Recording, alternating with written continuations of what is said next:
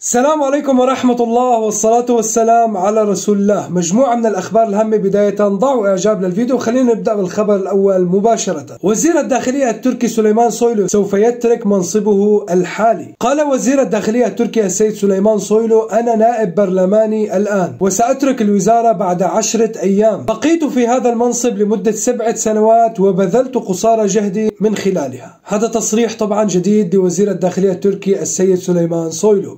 ننتقل إلى الخبر الثاني. غدا سوف يبدأ التصويت للانتخابات خارج تركيا. مثل ما بتعرفوا أنه تم الإعلان عن الجولة الثانية وغدا رح يبدأ التصويت بالسفارات والقنصليات خارج تركيا. الخبر الثالث زلزال بقوة 7.7 وتحذير من تسونامي. ضرب زلزال قوي بلغت شدته 7.7 على مقياس ريختر. اليوم الجمعة المحيط الهادي في جنوب شرق كاليدونيا الجديدة الفرنسية. وفق ما أفاده المعهد الأمريكي كما حذر مركز الإنذار بموجات التسونامي في المحيط الهادي وطلب المركز سكان المناطق الساحلية أن تتوخى الحذر وقامت قوات الأمن أيضا بإخلاء سواحل كاليدونيا الجديدة. الخبر اللي بعده كل شخص يريد كسب المال وربح المال من الإنترنت. رح خلي لكم بأول تعليق مثبت وبوصف الفيديو عدة طرق لكسب المال من خلال تطبيقات مجربة مع إثبات السحب. رح أوفيكم بجميع التفاصيل لا تنسوا الاشتراك بالقناة. كل الحب والاحترام تحياتي لكم جميعا. سلام عليكم.